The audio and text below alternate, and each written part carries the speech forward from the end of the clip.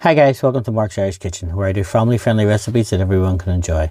So today's recipe is for traditional Irish vegetable soup. So sit back, relax, and enjoy, and thanks for watching.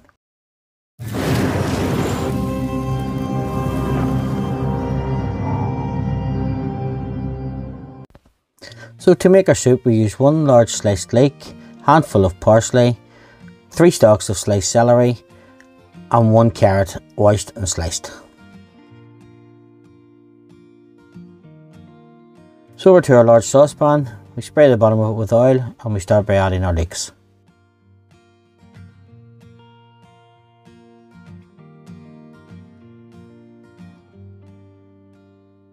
Then we add the carrots.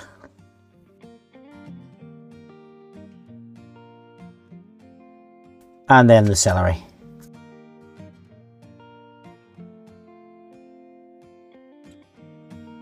Give that a stir around, let the vegetables sweat for a couple of minutes just until they start to soften.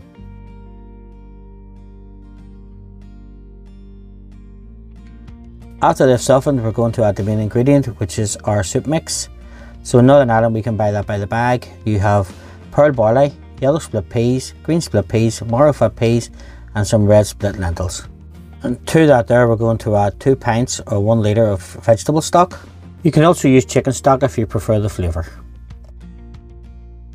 Give that a stir around.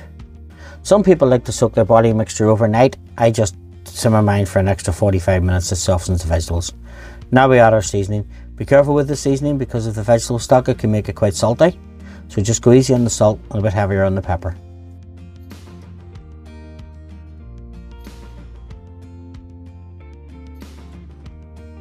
Then we're going to add our chopped parsley. Now folks, if you're finding value in my videos, please don't forget to like, subscribe and share the channel. It does help me make more videos for you.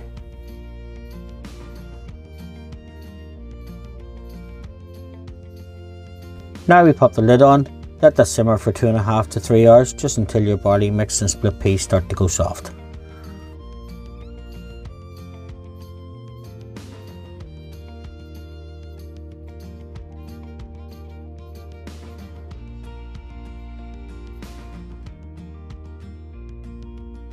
Just taste it for the seasoning.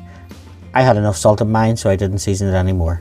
As you can see, our soup is now cooked, the vegetables are soft, barley is plumped up, it's now ready to serve.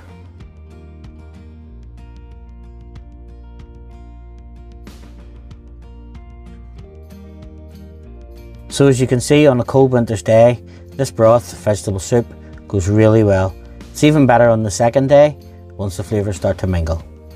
So just serve it with some white bread crusty bread or some wheaten bread, whichever you prefer.